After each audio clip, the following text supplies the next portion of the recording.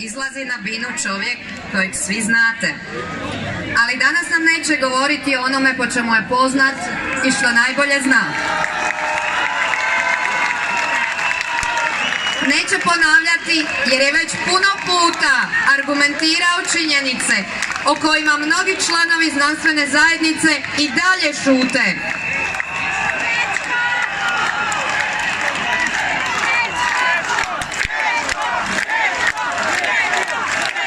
Neće nas podsjećati da je bio u pravu kada je cjelokupnu javnost upozoravao na sve čemu sada svjedočimo. Stoga, poslušajmo što nam ovog puta ima za poručiti naš doktor Srećko Sladoljev.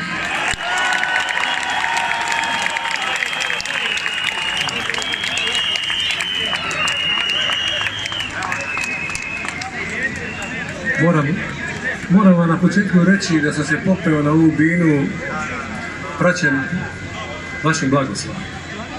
Puno ljudi me blagoslovilo.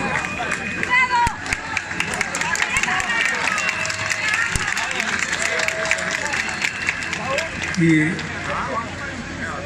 to je promijenilo koncepciju svega što sam mislio reći. Ja vam neću govoriti iz glave, ja vam neću govoriti sa papira, ja ću vam govoriti iz srca.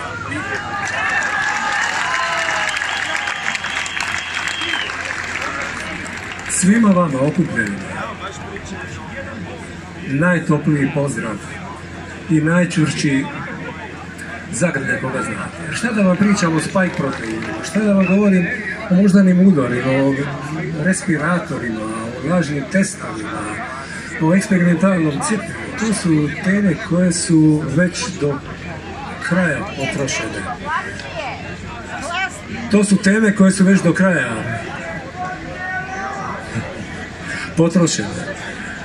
O tome sam, kao što je najavljivačica rekla, rekao sam u ranim početcima, rekao sam, bio sam jedan od prvih koji se usudio reći da stvari stoje drugačije nego kako o stvarima pričaju i tako se, tako se i tako se i desilo.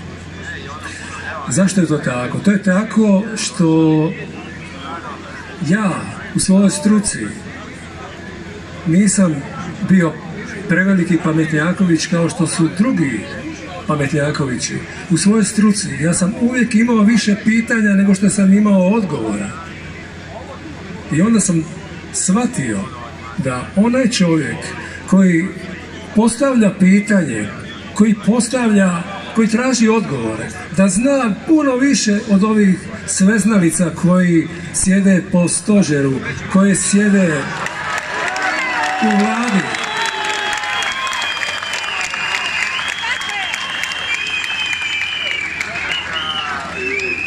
I zato vam ovdje šaljem najjači mogući lijek protiv svega, a to je zagrljaj. To je topli ljudski zagrljaj. Onakav kakav, kakvim djeca zagrle svoje roditelje i roditelji svoju djecu, djeca svoje djedove i svoje bake. Susjed zagrli susjeda, a reći ću i to, to je onaj zagrljaj kada onaj koji napada, a danas je dan Vukovara, shvati da je izmanipuliran i zagrli branitelja Vukovara.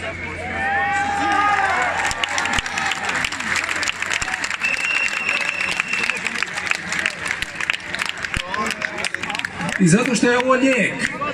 Zapamtite, zato su maske djeci u školu. Zato je socijalna distanca. Jer to su sredstva protiv lijekova, najmoćnijih lijekova. I reći ću vam još nešto. Profesorica Jurinčić vam je prije nekog vremena govorila o četvrtom stupu obrane kod naroda, a to su naša, naša djeca koju sada sile da sa maskama dolaze u školu. Kada sam čuo za slučaj u malom mjestu u Hrvatskom Zagorju, kako jedan osmaš, jedan 14-godišnjak, odbija staviti masku nas preko svoga lica. onda sam požurio otići u Krapinske toplice i dati tom dječaku, dati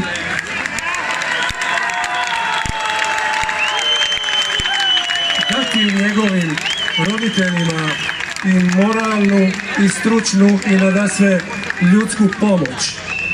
Ja sam razgovarao sa dječakom, nisam imao drugo ništa savjetovao, ali ja sam mu rekao, nastavi dolaziti pred školu, uredno na vrijeme.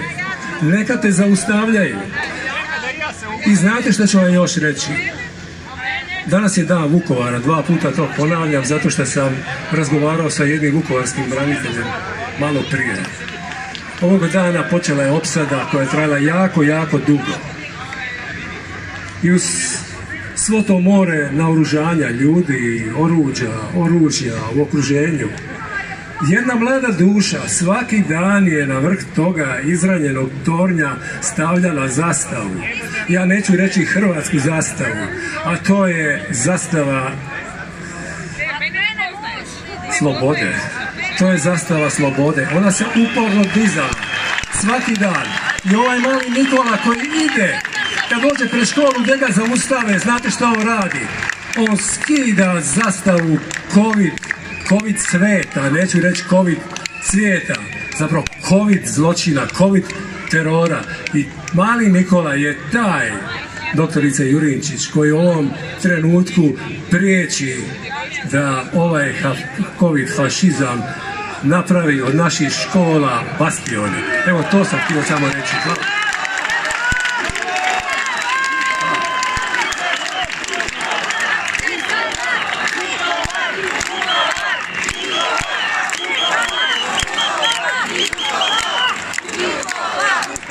Naš govornik od početka korona krize naglašava da pandemija ne smije biti izgovor za kršenje ljudskih i vjerskih sloboda, te upozorava da je COVID-19 prešao iz medicinske kompetencije u ruke naravno politike, kapitala i ideologije. On je doktor informacijsko-komunikacijskih znanosti i odnosa s javnošću, predavač na Filozofskom fakultetu Sveučilišta u Mostaru, kolumnist, župnik, urednik na radio postaji Mir Međugorje, Franjevac, Mario Knezović. Dragi prijatelji, dragi borci za slobodu naše savjesti i slobodu ljudskih prava, svima lijepi pozdrav. Govorim i govorit ću, jer pastir svojih duša brine za svoje stado, kako ono u očinjaku, tako i ono izvan očinjaka. Pastir mora brinuti za svoje stado i čuvati ga od vukova krabežljivaca. Zato poručujem, ne želim odlučivati o zdravlju, ali želim odlučivati o svojoj savjesti i svojoj slobodi. Najgora stvar koja nam se može dogoditi je podjela i mržnja. Zato jest smišljeno, kreirana i lansirana podjela po principu na one koji su za cijepivo i na one koji su protiv cijepiva. Zato zazirem od podjela na ove ili na one. Ne želim u takvu kutiju. Čovjek je biće slobode. Zdrav razum nam govori kako pandemija postoji i to isto tako ne želim nijekati. No isto tako, zdrav razum nam govori da je pandemija poligon u najmanju ruku mutnih procesa na svjetskoj sceni. Ako u bezuvjetnoj pokornosti i nametnutoj ideologiji straha budemo odgajali djecu i mlade, onda nam u budućnosti nikakvi lijekovi neće donijeti zdravlje niti rješenje. Isto tako, kao čovjek iz svijeta znanosti, čudim se prigovorima kako propitujemo i sumnjamo i dovodimo kao neke znanstvene činjenice pod pitanje. Pitam, zar su neki znanstvenici ušli u zaborav pa ne znaju kako se znanost temelji i svoj napredak ima upravo zbog toga što sumnjamo, potičemo nova istraživanja, što tražimo dokaze i nove i nove empirijske postupke. Znanost koja ne postavlja pitanja i koja ne sumnja nije znanost, nego slijepa ropkinja i sluškinja nečijeg interesa. Zato svima mora biti jasno kako oni koji imaju drugačiji stav o pristupu liječenju od covid nisu nikakva znanstvena sekta koja se hrani teorijama zavjera. To je podvala koju ne želimo prihvatiti niti razmatrati. Dragi prijatelji, pitam cjelokupnu javnost, pitam svakoga od vas, je li zabranjeno tražiti najbolji put u sradnji sa svima, kako bi našli najbolji model odupiranja ovoj pošasti koja je davno izišla iz samomedicinskoga kruga, a prešla u ruke politike, kapitala i jaše na magaretu oholosti novog svjetskog poredka. Kao čovjek koji radi u medijima i predajem studentima odnose s javnošću, ne treba me nitko uvjeravati kako je u mnogim medijima na dijelu propaganda, cenzura i blokiranje drugačijeg mišljenja. Ako nije tomu tako, zašto govornike i ovog skupa nećemo vidjeti u raspravama u mainstream medijima? Imamo li pravo na jednaka mjerila ili je nečiji metar stotinu centimetara, a nečiji metar, oprostite, 150 centimetara. Kao svećenik znam koliko su ljudske savjesti opterećene, odnosi u ljudskim dušama uzburkani i zato pozivam prestanite vršiti mobbing, nasilje i ucjenu nad ljudima koji imaju drugačije mišljenje i promišljaju hoće li se ili neće cijepiti. Prestanite tretirati nazadnima, odgovornima čak za smrti, odgovornima za širenje bolesti one koji se po savjesti svojoj i na temelju svojih ili dobijenih spoznaja ne žele cijepiti. Prestanite unositi podjelu u naše umorno društvo. A dobro je znano da je Sotona centar podjela. Nikad neću pristati na podjelu na ove ili na one. Poštujem i one koji su izabrali cijepivo. Ne treba ih sotonizirati. Bog i njih ljubi. To ste učinili vi koji ste se cijepili, tako vjerujem, po savjesti i po svome uvjerenju.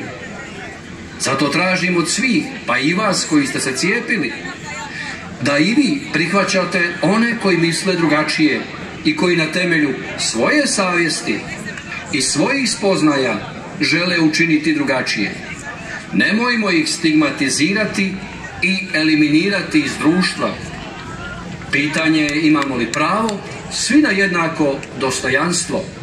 Savjest nema alternativu. Sloboda kretanja nema alternativu. Moralno nasilje mora stati. Savjest jest, mora biti i ostati krajnje mjerilo naših odluka. Onog dana kad se uguši glas savjesti, kao krici će se pojaviti razne traume, psihička oboljenja, duševne tegobe. Pitam, je li ideja da jedna vrsta bolesti bude uzrok tolikih drugih oboljenja koja se u strahu i ucijeni rađaju? Pitam, je li imamo pravo na moralno prihvatljivo i provjereno cijepivo. Pitam, na temelju čega, koji spoznaja, želi se čak pristupiti cijepljenju djece.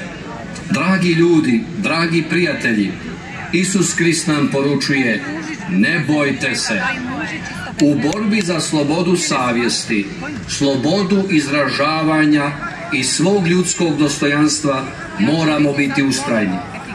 Upravo tako mislimo i na sebe, mislimo i na druge. Mir vam i dobro.